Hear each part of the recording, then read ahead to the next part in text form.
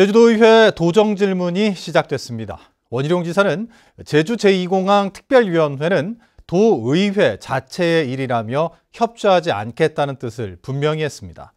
도정 질문 첫날 주요 내용을 오승철 기자가 정리했습니다. 도의회 본회의 의결을 거쳐 지난 15일 출범한 제2공항 갈등 해소 특별위원회. 원희룡 지사는 갈등 해소를 위해 의회가 역할을 한다면 고맙지만 의회가 자체적으로 하는 일에 협조할 뜻은 없다고 분명히 선을 그었습니다. 도의회 이 특이 활동 협조할 생각 없습니까? 저희들이 안 되는 건 안 되는 겁니다. 또 저희들이 협조하고 말고가 뭐 있겠습니까? 의회 자체의 활동이.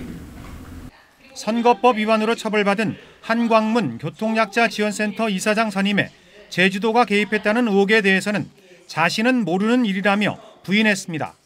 도청의 의사결정 체계를 얘기하지 않습니까? 그렇다면 우리 국장님이나 과장님이 거기에 협의를 했을 수는 있겠는데 저는 그 과정에 대해서 관여한 바가 없습니다.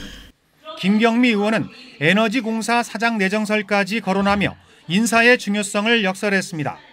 지사님께 정말 간곡하게 제안드립니다. 인사가 만사라는 말을 꼭 유념해 주시기 바랍니다. 자본검증 막바지 단계인 오라관광단지에 대해서는 도의회의 환경영향평가 동의 절차 이후에 도민의 의견을 폭넓게 수렴하는 등 승인 여부를 신중하게 결정하겠다고 말했습니다.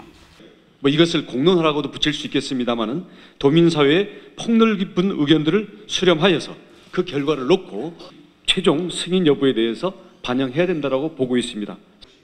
안창남 의원은 도정 질문 대신 제2공항 투기와 관련한 개인 의견과 불만을 10분 동안 얘기하고 끝내 빈축을 샀습니다. MBC 뉴스 오승철입니다.